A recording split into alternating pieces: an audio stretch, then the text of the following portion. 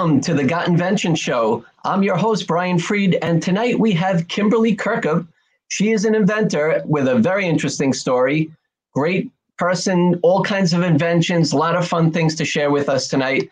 Kimberly, welcome to the show. Hi, Brian. How are you? Doing good. Thanks for joining us. Uh, thank you for having me. So, Kimberly, tell us a little bit about yourself. Tell us who you are, where you're from, and then we'll start getting into a little bit more of why you're here, which is you have several inventions that you've been working on. So, first, start off by telling us who you are. Okay, uh, I'm Kimberly Kirkup. I live here on Long Island, New York.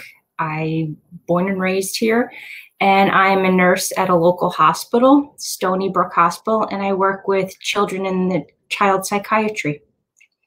Very interesting. And so you are always seeing patients, you're seeing how there's problems and there's solutions. So do you feel like you've always been an inventor or what, what kind of triggered the inventor side of you? You know, I I always I never knew I was an inventor like i had that type of personality and, and, looking back at the point that i ended up having that spark which honestly would have been having my son and him having special needs that caused me to start making things because of what i saw happened in him which also then made me end up going into child psychiatry as well but then when i look back at my growth as a person i realize i've always had that ability to either change or manipulate something and make it better or create something from scratch. I just didn't know it and I didn't know how to channel it.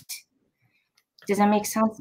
It does. And so you started to realize that you were coming up with ideas that might not just be for you, it could be for other people who might be sharing the same challenges that you had. So, yeah. or or you may have and so tell us like what was the point where you started to really take your ideas more seriously?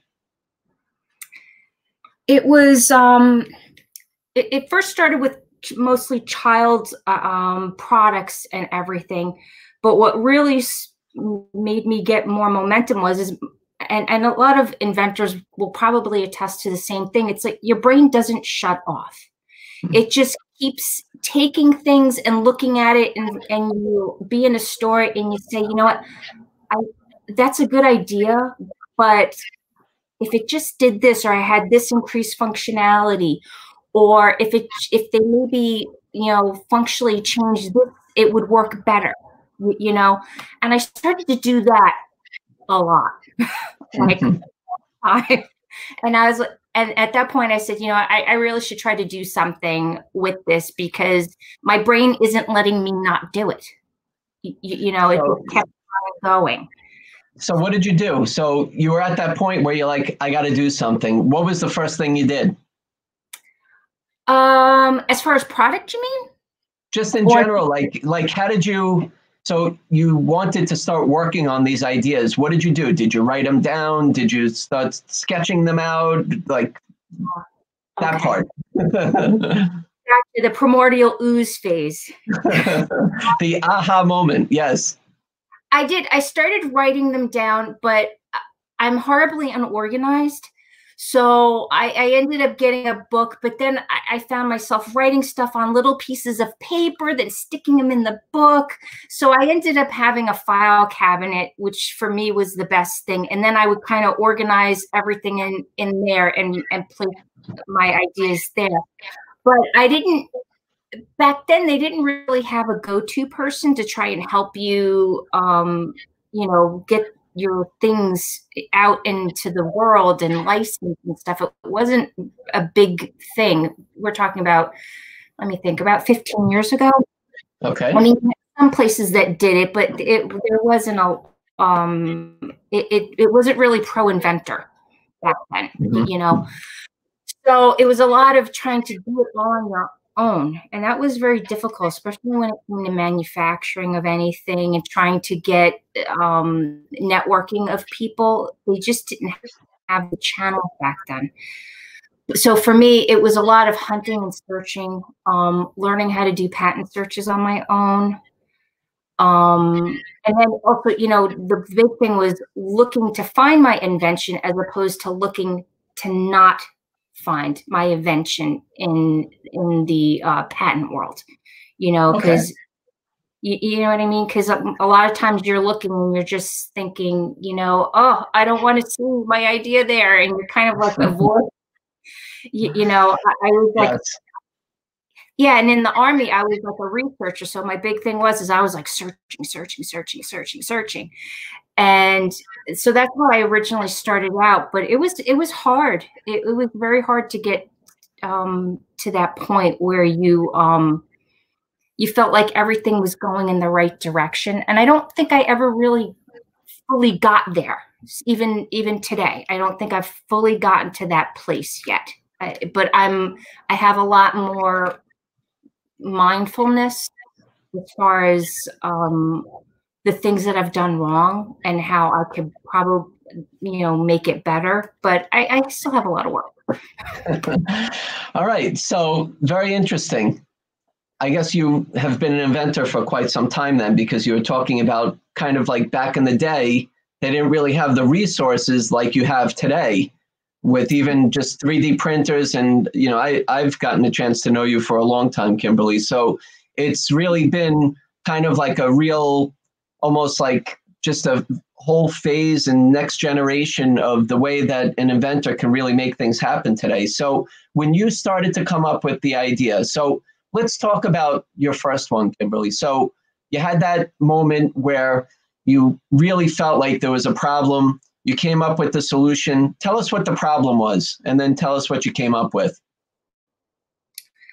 Um, one of the first ideas that I had was um, my son was getting into everything, and it was a like a, a cover for a toilet uh, lever because one day my son threw a kazoo into the toilet and i at the time i was um, mobilized in the army and I was living in an apartment building. And I was thinking, holy Christmas tree, this is going to block up everything. It's going to be a disaster. It turned out to not be that bad.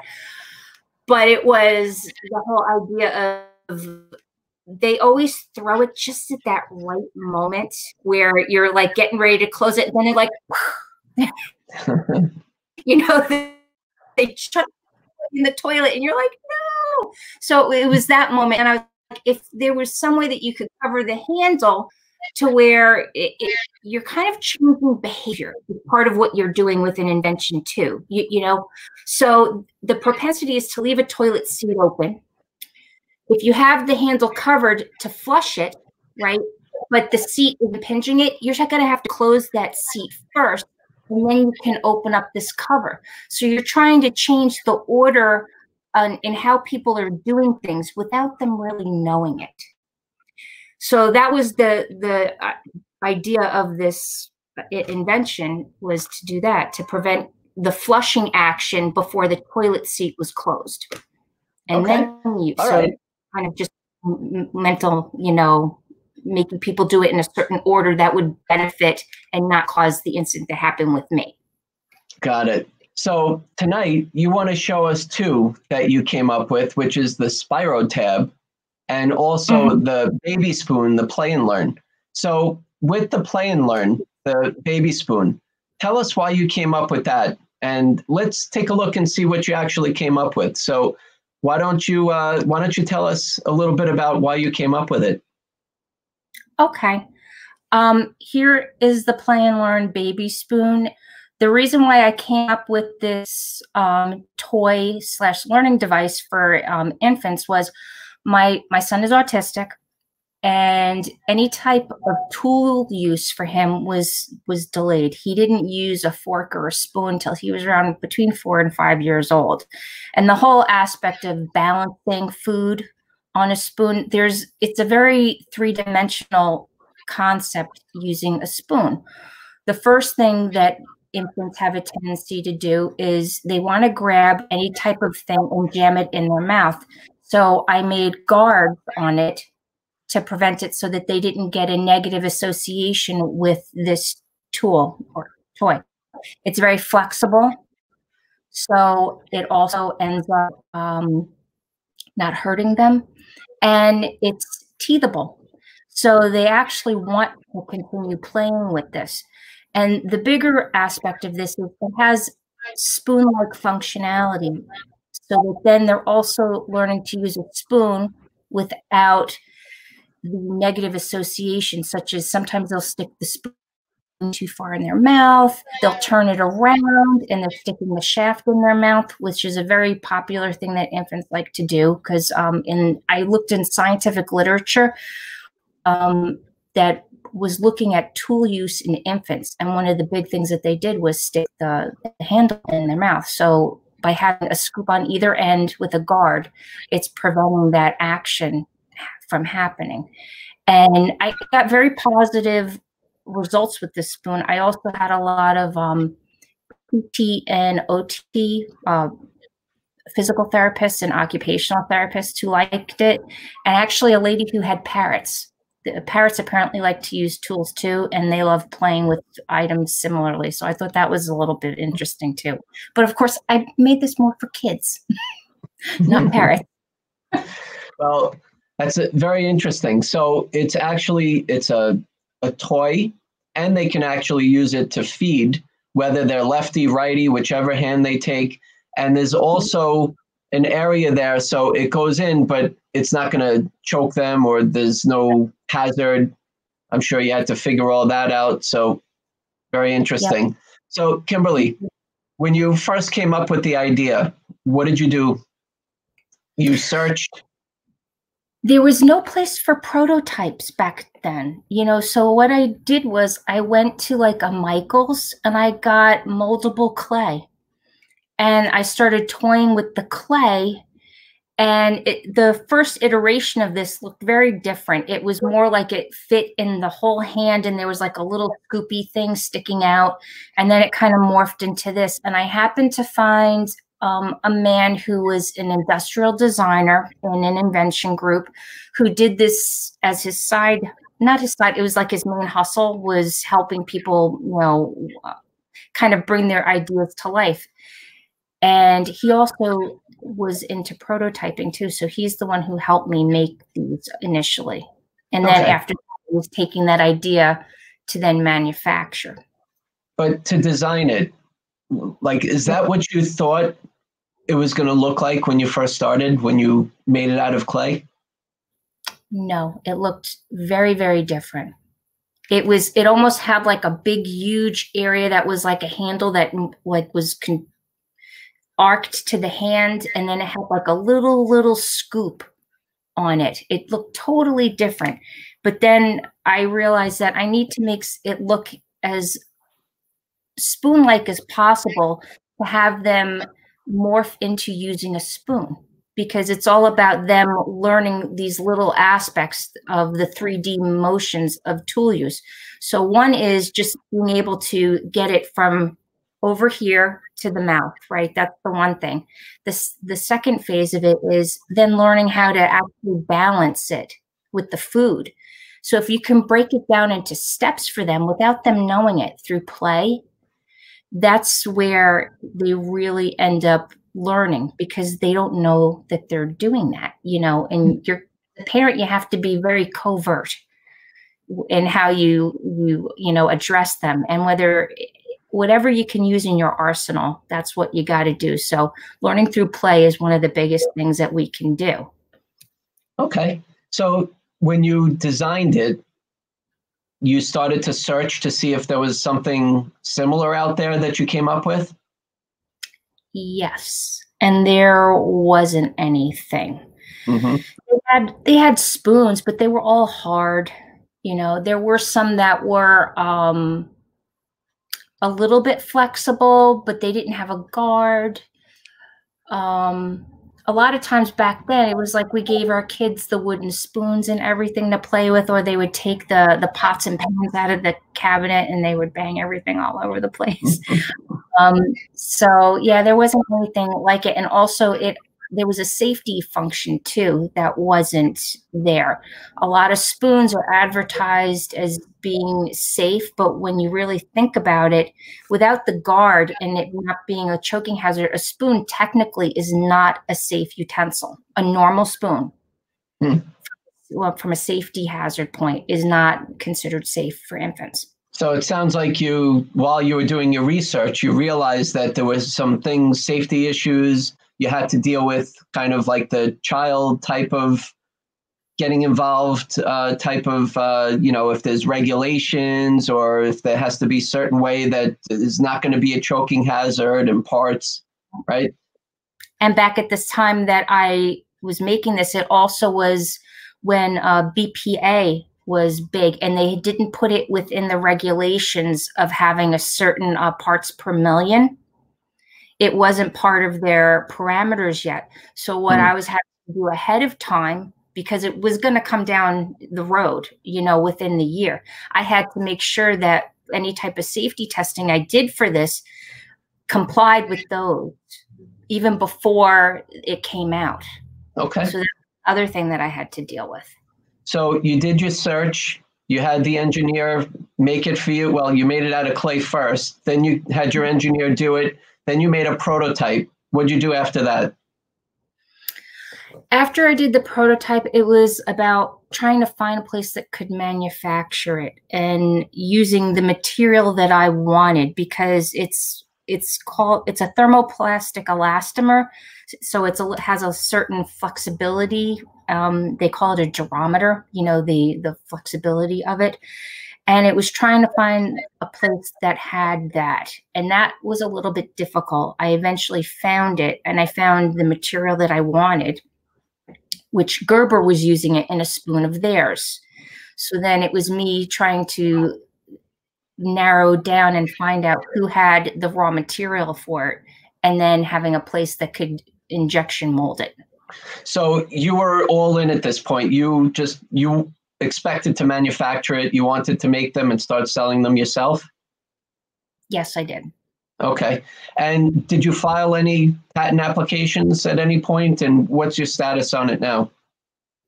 I started to file a patent and I actually did, but then what ended up happening was I, I was going into a light, I, had switched from doing it all on my own to then saying, okay, I, I had a big company who was interested in it. And um, it, that's when you don't have experience with that, it's a bit daunting and you don't really know the right things to say. That's when you really need to have somebody with a little bit of experience because I had none. But um, they ended up making a version of the spoon. And at that point, I ended up stop selling, selling my version because they had um, a bigger distribution network than I did. And I was kind of in like the brick and mortars. I wasn't in like a Toys R Us. Um, it was more of like the um, boutique type stores. Okay. So they had, uh, so you were manufacturing it and then yep. they ended up finding you or you found them you ended up licensing it so you were earning royalties from it no i i never got royalties. Basically they they did a knockoff of it. Okay. i never got anything. So at oh. that point that's i stopped. So they did it without you or they they did it without me. Okay and did you have a patent? Did you have any intellectual property protection? At that point, I did. I had a patent, and then eh, um, this is why probably one of the best things I could tell anybody is is don't let people see your patent because if it's not fully published yet, because I let them see my patent and then they worked around it is what they did. So um, at that point, um, then I just didn't reinitiate it because I I thought if someone's going to work around it, then what's the point? and I kind of got pretty bummed after that. So. Okay. So what are you doing with the with your invention now? Um, well, my my hopes that someone would want to license it and use it because it really it's still to me it's a very good product. It does help and everybody because I still have a bunch of spoons, I, I give them away to friends and stuff, and they're like, "Oh wow, this is awesome!" and they love the spoon. It's just I haven't I haven't manufactured them because it was just a lot of energy that I just don't have anymore.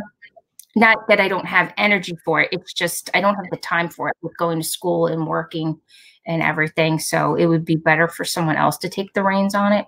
And you have a fully issued utility patent or design patent on it? Um, I don't have either actually. Okay. It, it's more that because I I let the patent go from that point that the um when when the people had done their own version of it. So I Mhm. just let it go. Okay. So it's kind of in public domain at this point. Exactly. Okay. All right. So lesson learned there, Kimberly. So the next one you came up with was the Spirotab. So Yes. this one is patent pending. Yes, patent pending. Okay. So tell us why you came up with this and show us. Show us what you have.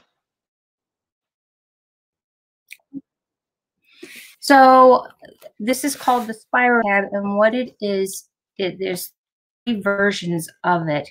It's a device that can go into the spiral, as you can see, for labeling of spiral type media, but also with the different versions. Like this one, I call the Spiro Tab Flex. It's very flexible. It's made out of a material that um, a Pendaflex folder tab would be made out of. But the cool thing is, is that it goes in and out easily, but it also can then fit into a Pendaflex folder. So it can be used in both places. So that um, it has like a cutout in the bottom so that it can fit in. And that's the one version. Then there's the Spiro Tab Kids Tough version, which is made out of plastic. And with that one, I have to I put this one down.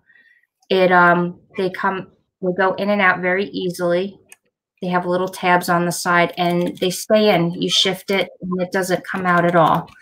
And it's very, very resilient. This would be perfect for like um, kids' um, books, whether it's um, in a locker or in their book bag. It won't come off and actually can fold over like this. See? So it's pretty good. And then the other version, I call it the Spirotab Elite. And this version can be engravable to where you can have a nice, neat look. And they also have that ease of going in and out. And it, you could see kind of with this one where there's versions of it where they're engraved either in um, script or just regular, and they can have like the little opening here for a little bit more of a grasp. The plastic one, hard to see, but it has like little nubs here that are grabbable so that you can pull it if, say, it's sandwiched between books in, in a wall locker or um, in a book bag. Wow. So why did you come up with this? Um, I came up with this because I actually I don't. You end up buying spiral notebooks because you you know they're there and you need this type of of media for school or what have you. And I don't like the way that they look on on a bookshelf. And half the time you're pulling it out to see oh is this the book that i need is you know you label it but it's still not ideal for me i'd rather be able to have that indexing capability that the spirotab offers and i can look and say okay that's what i need and get it instead of me wasting time searching on a bookshelf for what i need wow so are there any other types of ideas like this to be able to put something into the spiral part of a notebook no, there is not. They have all these other things for this part of the book, but not for the spiral part. Very interesting. So when you figured that this was a problem that you realized like, hey, I have a stack of notebooks. I don't know what's what. I mean, I'm trying to remember the colors, what's in it. So now I have these tabs on the outside. So when you came up with it, what did you do? Um, the first thing that I did was I th- this was more recent, so the ability to have people help you was a little bit more available. So it was actually through your group. group uh, Aloka, who is associated with Farmingdale, and he um, was into manufacturing, and I had him help me do the designing of it. And then he was able to use a 3D printer to make a prototype of the plastic version that you see here, as you can see the little nubs on the edge right there. And then as I was thinking of it more, I have a laser machine and I was and I thought, you know, I could also make a variation of this too. So in between me having my machinery and what I have and using other um, machines, I was able to kind of make my own like various versions. And then when I was at the um like a Staples, I was looking at the Pendaflex folders. I was like, you know what?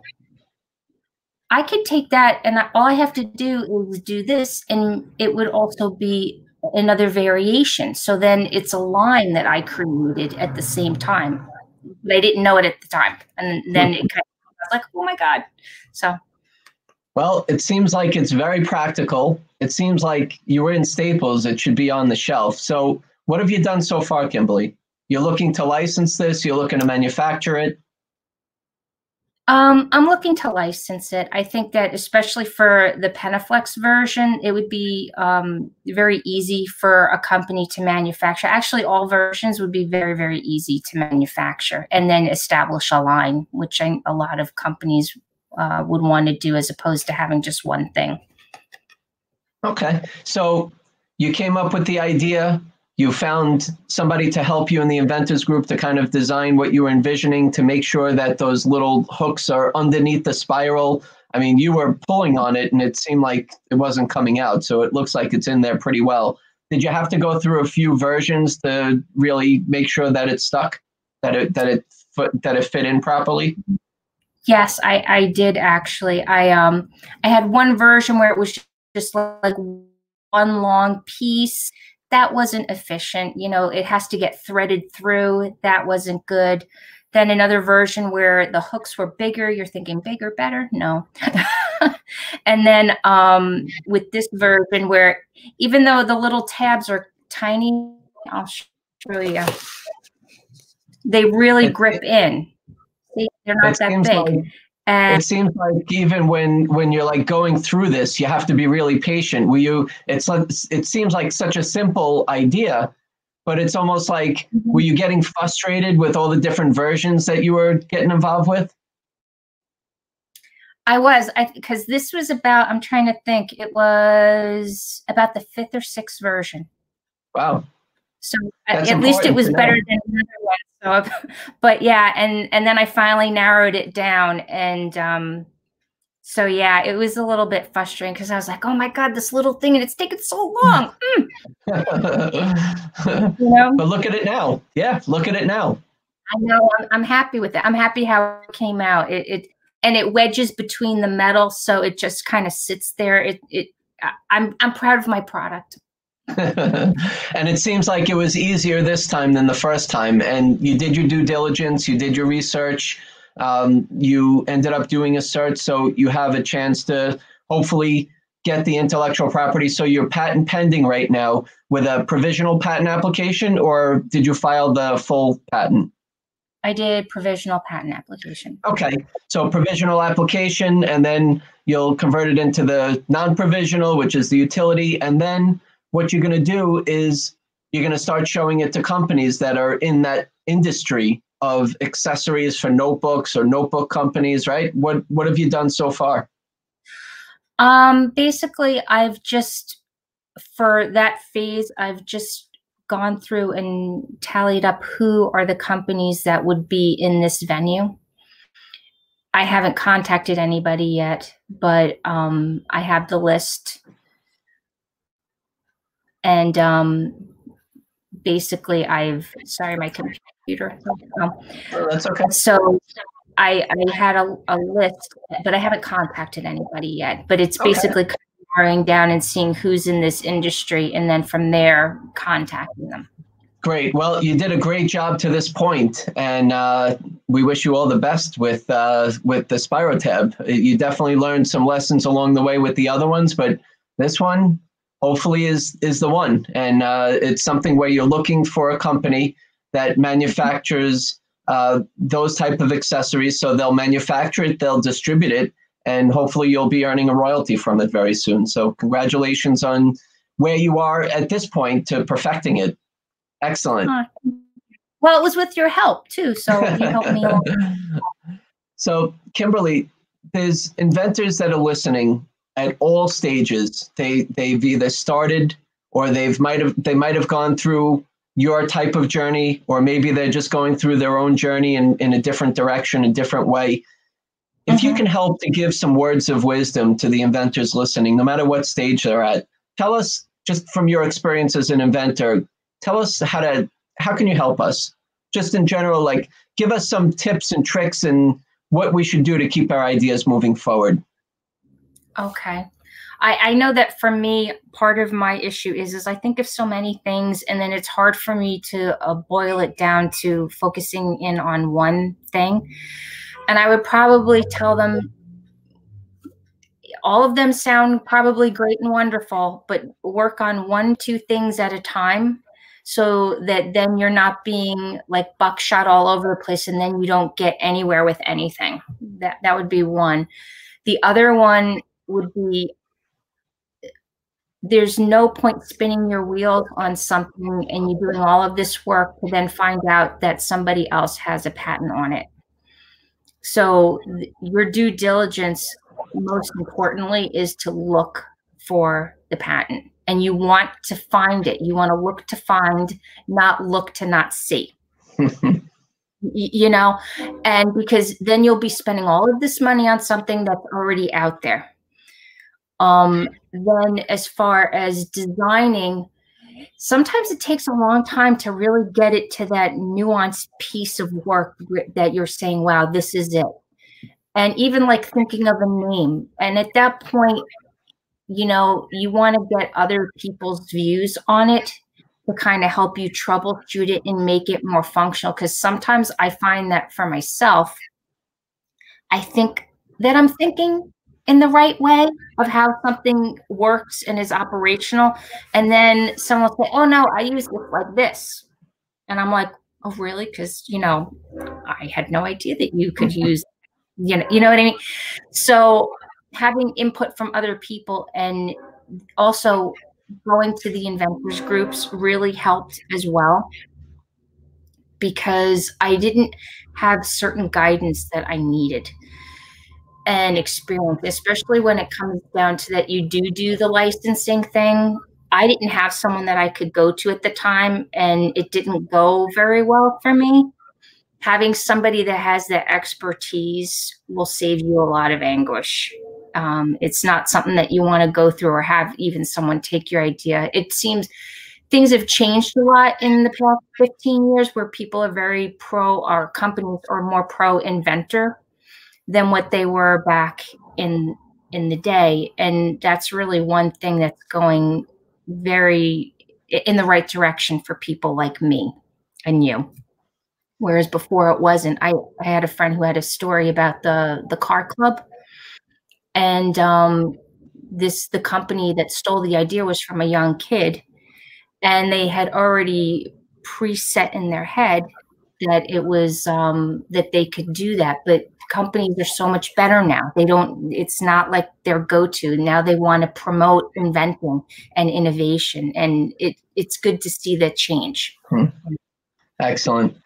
Kimberly, thank you so much for being on our show tonight. We really appreciate it. And I'm sure you're going to have plenty other inventions that you're working on because you're one of you're one of those where you come up with something, you know, you're aware that you're things are happening around you, you stop, you write them down, you capture them, and I'm sure there's going to be plenty more great inventions. So, really appreciate having you on our show tonight, Kimberly. Oh, thanks, Brian, for having me. I, I appreciate all that you've done for me, as well as um, just how you help all other inventors try and make their dreams come true. It's very, very um, inspiring. Oh, thank you. Thank you so much, Kimberly.